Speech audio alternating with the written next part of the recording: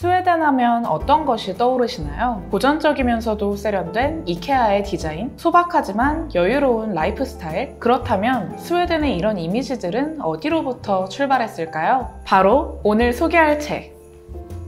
칼 라르손, 오늘도 행복을 그리는 이유입니다.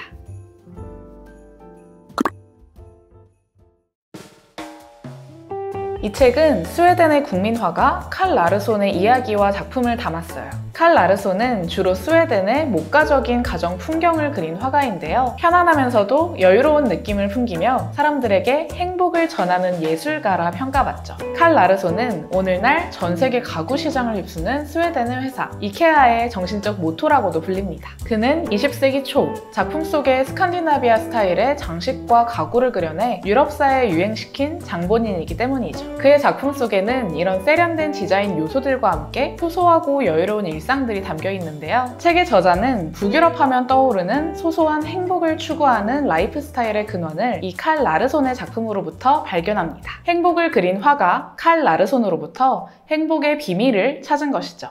책은 크게 칼 라르손의 성장기, 아내 카린과 8명의 아이들, 더불어 그의 집 릴라 하트나스와 작업실로 구성되어 있습니다. 목차에서 알 수 있듯 한 예술가의 거의 모든 삶의 이야기를 들어볼 수 있죠. 책은 라르손의 작품 속에 녹여진 갖가지 장소와 인물들을 통해 그의 생애와 관계를 조명하고 있는데요. 때문에 순서대로 읽다 보면 어느샌가 칼 라르손의 삶 속으로 들어간 듯한 느낌이 들기도 합니다. 마치 옆에서 라르손 할아버지의 이야기를 직접 듣는 듯한 느낌이랄까요? 뿐만 아니라 여유로운 그의 화풍과 그런 작품이 탄생할 수 있었던 배경, 그리고 이야기와 함께 녹여진 자세한 작품 설명이 아주 인상적입니다. 라르손이 어떻게 예술을 시작했고 또 발전시켜 나갔는지 같은 예술 이야기부터 아내 카리는 어떻게 만났고 가족들과 집과 정원에서 어떻게 지냈는지 같은 아주 소소한 이야기들까지 라르손의 작품과 삶의 이야기가 담백하면서도 아주 재밌게 담겨 있어요. 특히나 행복을 그리는 예술가이지만 그에게도 크나큰 시련이 몇 번 있었다는 사실은 이 책을 읽기 전과 읽은 후 나르손의 작품을 완전히 다른 의미로 받아들이게 하는데요. 단순히 행복한 순간을 박제한 예술가가 아니라 행복한 순간을 만들기 위해 얼마나 많은 고뇌가 있었을까 생각하게 되었습니다. 책의 부분 부분에서 라르손의 이야기와 그가 실제로 했던 말들, 주변 사람의 말들 모두 인상 깊었는데요. 저자가 쓴 에필로그에 있는 이 문장이 제가 책을 보고 느낀 것에 대한 감정을 대변해주는 것 같았어요. 잠깐 읽어드릴게요. 나는 앞으로의 내 삶이 칼 라르손이 그린 행복 같은 나날만 매일 찾아올 것이라고 소망하지 않는다. 단, 삶이라는 풍선에 공기가 빠져 쭈그러질 때면 칼 라르손의 그림을 보고 행복이 어떤 모습인지 꺼내어 구경하고 싶다.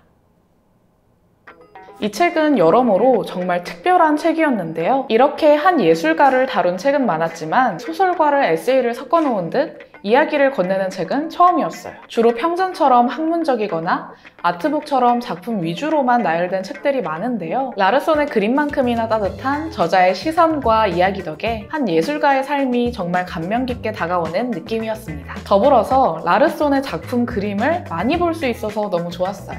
보통 그림이 많은 책은 이야기나 설명이 부족하거나 반대로 이야기가 많은 책은 그림이 부족한 경우가 많았는데요. 이 책의 경우 그림과 이야기 모두 풍부해서 시각적으로 이해하기에도 글로 음미하며 이해하기에도 너무 좋았습니다. 책을 읽으면서 마치 칼 라르손 한 명을 위한 미술관에 온 듯한 느낌도 들었어요. 또 이 책을 읽기 전까지 칼 라르손은 사실 잘 몰랐는데요. 책의 이야기와 작품 덕에 단숨에 매료돼서 책을 다 읽고 나서도 작품 생각이 나서 자꾸 들춰보게 된 책이었습니다. 책을 통해 위안을 얻고 삶의 여유를 즐기고 싶으신 분들, 또 한 예술가의 이야기를 깊게 탐험해보고 싶으신 분들께 이 칼 라르손 오늘도 행복을 그리는 이유를 추천드려요. 자, 이렇게 오늘은 스웨덴의 국민 화가 칼 라르손 오늘도 행복을 그리는 이유를 리뷰해봤는데요. 혹시 궁금한 책이나 널 위한 문화예술에서 다뤄줬으면 하는 책이 있다면 아래 댓글로 남겨주세요. 그럼 다음 영상에서 만나요.